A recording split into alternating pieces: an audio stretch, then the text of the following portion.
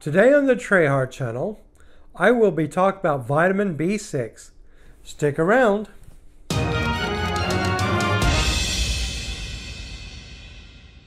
Welcome to the Traeheart channel. I am Ray Upchurch, your host, and this is the 10th part of the Essential Vitamin and Mineral series. Vitamin B6 is actually the generic name for six compounds. Vitamin B6 is a water soluble vitamin, and as such, it is not stored in the body. Like all the other water soluble vitamins, it is dissolved in water and the excess is excreted. Vitamin B6 in coenzyme form is very versatile and performs a wide variety of functions in the body. These functions include protein metabolism, metabolism of one carbon units, carbohydrates, and lipids.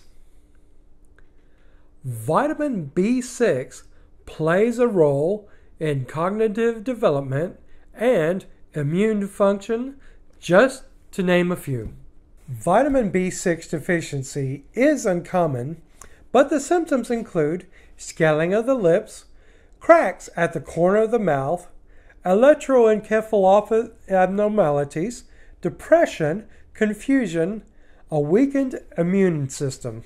Usually, when a person is deficient in vitamin B6, they're also deficient in other B vitamins, such as B12 and folic acid. The groups most at risk of vitamin B6 deficiency are people with impaired renal functions, individuals with autoimmune disorders, and people with alcohol dependence disorder. The recommended daily allowance of vitamin B6 for children between 0 to 6 months is 0.1 milligrams. For children between 7 to 12 months is 0.3 milligrams. The recommended intake for children 1 to 3 years old is 0.5 milligrams, and for children 4 to 8 years old is 0.6 milligrams. For 9 to 13 years old, it's 1 milligrams. For adolescents 14 to 18 years old, it's 1.3 milligrams for males and 1.2 milligrams for females.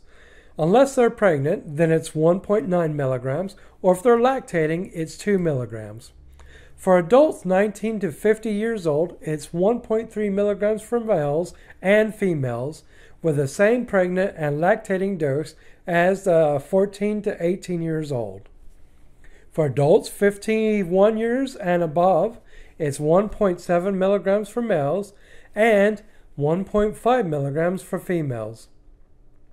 The top 10 foods with a high, that are highest in vitamin B6 a ground turkey, where 6 ounce provides 108% the daily value, tuna fillet, where 6 ounce provides 104% the daily value, fortified tofu at 66% the daily value per cup, lean pork chops, where 6 ounce is at 54%, beef skirt steak, where 6 ounce is at 48%, sweet potatoes, were at 35% per mashed cup, bananas at 32% per cup sliced, avocados at 30% per average avocado, pistachios at 28% per handful.